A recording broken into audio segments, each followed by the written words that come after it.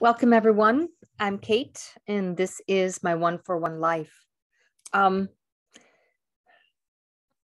this is my new Bible, and I'm sharing it because of I think what I'm I'm learning from what I've done with this. I bought this um, a new translation, and I'm always up for a new translation because you know it's fun, right? And this wonderful gal on Etsy does all of these different tabs. And I was like, oh my gosh, they're so cute. I love them. So I don't know, probably spent an hour looking through all the different ones.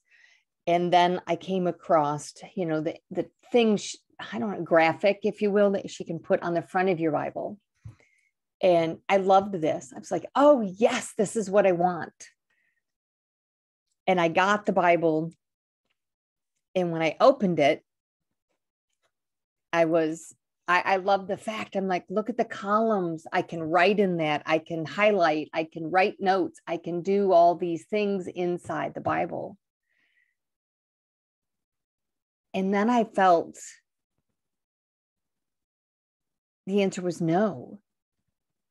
And, and I had this thought niggling in my head going, well, who am I to write anything, add anything to the word. So I've had this Bible, I think, um, almost a couple months, and I've not written anything in it, which is which is really unusual for me because I, you know, I look at this one. I mean, I do this. I mean, this is what I do. I this is a is a journaling Bible, and I highlight and I do stuff. But for some reason, that is not what I think I'm supposed to do in this.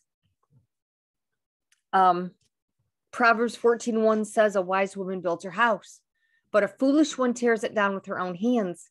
And, you know, and I'm like, Lord, I'm far more foolish than I am around wise. And wisdom comes from God. Um, Proverbs 1 7 says, The fear of the Lord is the foundation of true knowledge. Proverbs 9 10 says, Fear of the Lord is the foundation of wisdom. Proverbs 15 33, Fear of the Lord teaches us wisdom. It's the fear of the Lord. That's where it all comes from. It's not from me. It's not me building my house. Psalm 127 1 says, Unless the Lord builds the house, the builders labor in vain. I don't want to labor in vain. He needs to build my house. He needs, I need to step back and just let the Lord, because who am I? Hebrews 3 3 says, But Jesus deserves far more glory than Moses, just as a person who builds a house deserves more praise than the house itself. Anything I build has to be from the Lord.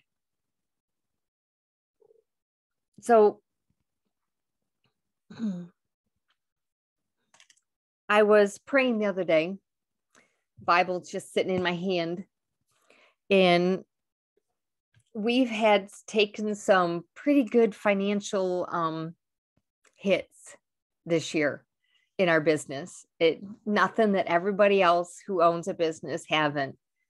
You know, we just lost another work truck I mean, this is livelihood. This is um, how my husband, you know, what he works out of. And I'm sitting there going, Lord,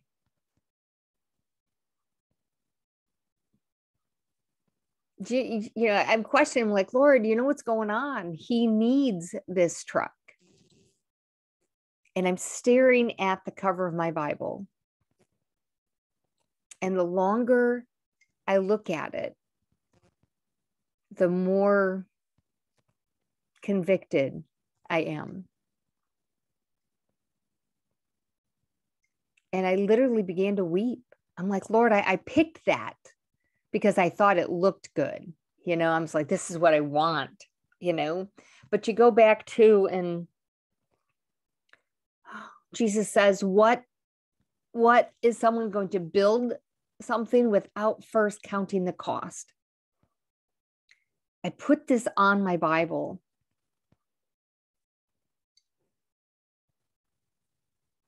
And did I really count the cost of what take everything means?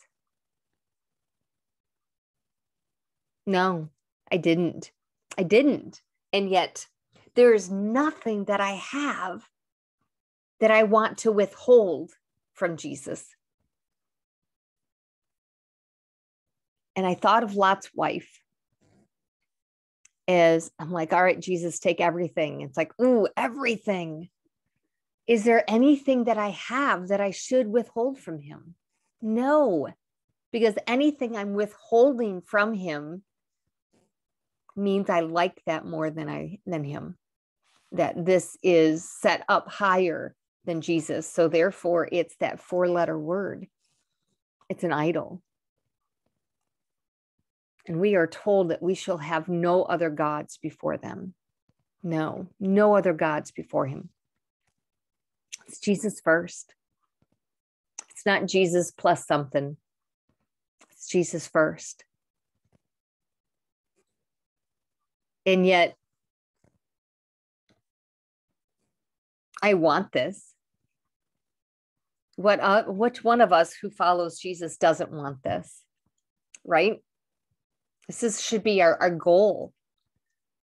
And in Matthew 7, Jesus says, Those who follow, who hear my words and, and obey them, will be like the person, the wise person who builds their house on a rock when the winds come and the rain and, and the storms of life, the house stands because it's founded on the rock. It's founded on Jesus Christ. But the foolish person who doesn't do what he says is like the one who builds it on sand, who, like, Lord, woo, so that's the one that says, Oh, I said take everything, but I don't mean that.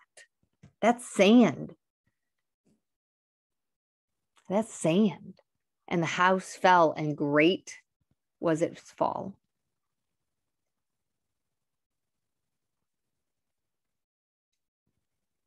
So I just want to encourage you today to give God everything. Is it going to be easy? Oh my goodness, no. If you go into James and it says, um, count it all joy when we have trials and tribulations of all kinds. When life is uncomfortable, their pruning process is happening. And we get more of Him, and there's less of us. And that's a good thing because I am the foolish one who tears down my house with her own hands. And the fear of the Lord is the beginning of wisdom, it's the foundation of all things. And if I am out of the way, then He can build my house. Because it's far better for Him to build my house. And I don't want to be like Lot's wife, right? They're leaving, and she turns around and looks back and it costs her everything. She turns into a pillar of salt because she can't let go of that which she's left behind, which she was asked to leave.